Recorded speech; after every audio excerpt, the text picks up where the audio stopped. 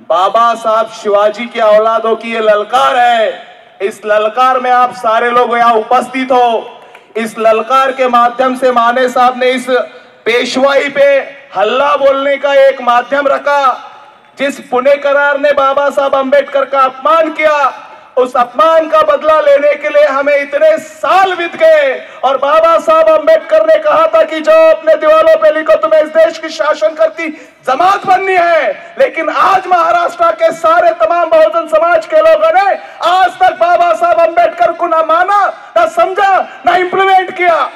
लेकिन हम चंद्रपुर जिला के अंदर में ये कोशिश कर रहे माने साहब के मार्गदर्शन में, बहुजन रिपब्लिकन सोशलिस्ट पार्टी के माध्यम से। कि बाबा साहब अंबेडकर का इस पुणे करार के माध्यम से गांधी और गोलवलकर के लोगों ने अपमान किया।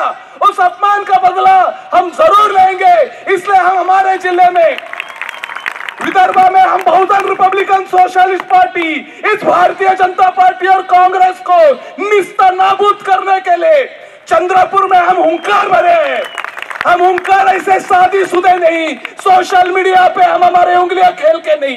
बहुजन रिपब्लिकन सोशलिस्ट पार्टी के हम शेर हैं, छावे हैं। हमारे पंद्रह तालुका में, हर तालुका में छावे हैं।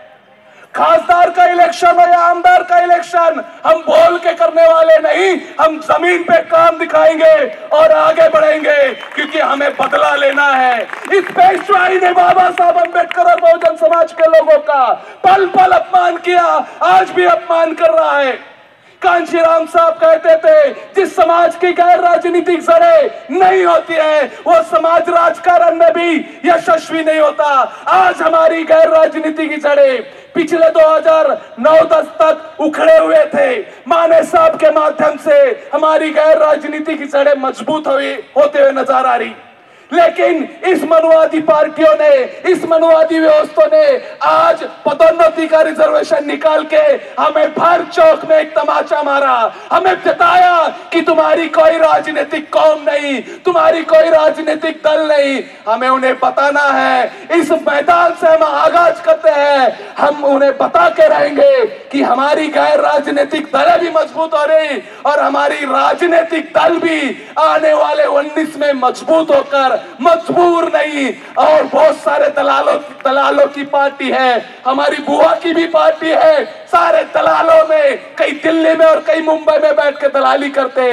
लेकिन हम, हमारे ज़मीन पे बैठ के इन दलालों को भी उनकी औकात दिखाएँगे और मनुवादियों को भी उनकी औकात दिखा के हम हमारे हर संगठन को हो पामसेप हो या बाकी अन्य विंग हो उन्हें मज़बूत करके बहुजन रिपब्लिकन सोशलिस्ट पार्टी जो शिवाजी महाराज, महात्मा ज्योतिबा फुले, छत्रपति शाह महाराज, बाबा साहब अंबेडकर और कांशी राम साहब के तत्वों को तंतो तंत पालन करते हुए इस देश के अंदर में हम महाराष्ट्र में कैसे हो सकते हैं यशस्वी करने के लिए? मैं खुद पे पहले इंप्लीमेंट करता हूँ, बाकी बाद में बोलता हूँ, क्योंकि मेरे मार्गदर्शक माने साहब है, वोट भी लेंगे नोट भी लेंगे बीआरएसपी को चुन के देंगे, ये इंप्लीमेंट करते हैं, ये आगाज़ करते हैं कि हम आने वाले समय में मनुवादी भारतीय जनता पार्टी को जड़ से उखाड़ फेंकेंगे। ये वादा या करते हैं। यही रुकता हूँ। जय विदर्भ, जय भीम।